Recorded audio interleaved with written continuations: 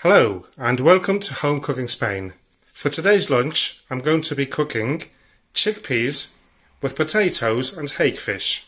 So let's begin. Okay, so the first thing we'll do is turn the stove on. I'll turn it up to number 7 medium high and I'll just add about 4 tablespoons of olive oil and we'll wait for that to heat up. And while that's heating up, I'll show you what I got. Got some red peppers, um, frozen. I, I'll leave a link below in the description um, if you want to know how to freeze your own peppers. I've got a bit of onion chopped, about three garlic cloves chopped also. I've got some hake fish here, which I've cleaned up. I've cut the the spines off. I've got some potatoes here, a couple of potatoes, um, cut into cubes. I've got them in water for now, so they won't go brown. Some bay leaves, fish stock, fish and vegetables and seafood stock bit of fried tomato sauce. I've got my chickpeas here, which I'll rinse in a minute. Some salt, sweet paprika, and that's everything. So, this, when this is hot, or sort of hot, we'll add in the um, onion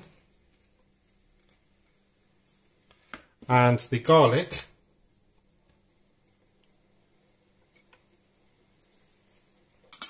and the red pepper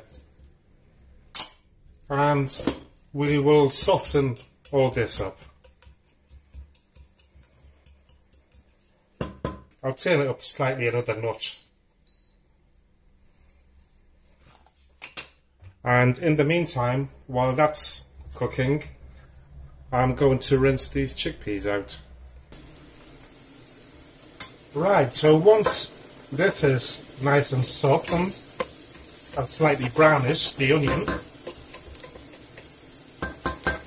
Um, what I'll do, I'm going to add some fried tomato sauce. About three, three tablespoons. And I'm going to add, add bay leaf, or two, little one, or three, another little one. And I'll add a table teaspoon of sweet paprika.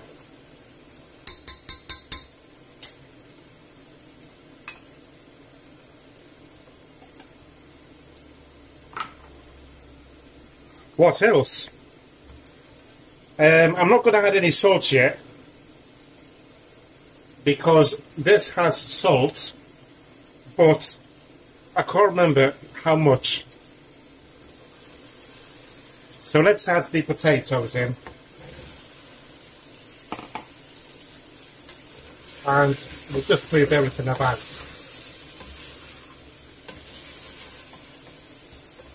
And what we want to do next is cover everything up with this stock.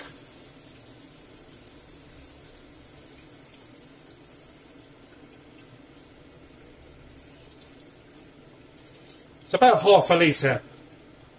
Enough to to cover everything up. And what I'll do, I've got my salt ready here. What I'm going to do is um, turn this right up and bring it to the boil and then I'll have a salt check. Right, so this is starting to boil. So what I'll do is turn this back down to number 7, medium high, and I'll just have a quick salt check. This is going to be boiling, it's going to burn my mouth off. Ah! And I'm going to add just a little bit of salt because it needs it. That um, fish seafood broth, it's not like the other ones that I normally buy, which don't really need any additional salt, you know. But this one definitely does. Let's have another go. Mmm, perfect. Okay, so we'll mix that about. And next we're going to, I'm going to cover it all up. I'll leave a little gap there. And I'll leave it there to boil for 15 minutes, which should be enough to make the potatoes al dente. So I'll be back. Right, so it's been 15 minutes. So what I'm going to do is um, a stab check. Yes, nice al dente. So what I'm going to do, um, let me see if I can do this. I'm going to get these bay leaves out. I don't need these anymore. They have served their purpose. And we don't want to eat them, do we? Did I put four in or three? I can't remember. I must have put three in then. Right. So I'm going to add the chickpeas in.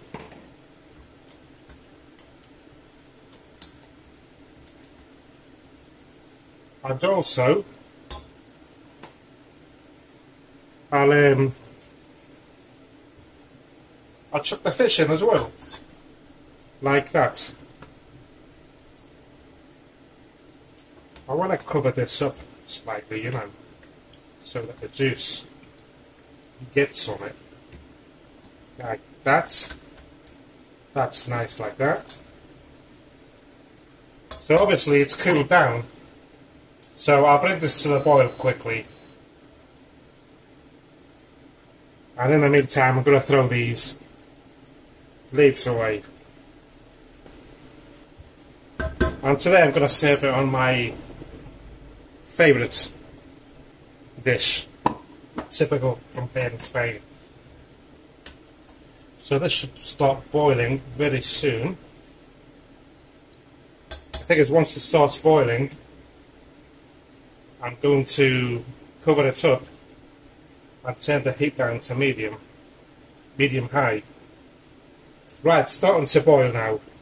So I'll cover this up fully and I'll turn the heat down to medium high and leave it there for five minutes.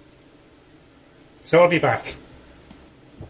Right, so then five minutes are up and this is ready.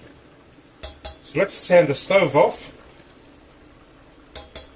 and we'll just leave it there on the same turned off heat, covered up until it stops bubbling. Or, if you're in a hurry, like I am today, so I'm hungry, just put it to one side and leave it there for five minutes. Then we'll serve it up. For the thumbnail, of course. Well, so here's lunch ready. What do you think? There's more here in the pan, of course, in the pot. Um, nothing else. I hope that you enjoyed today's recipe video.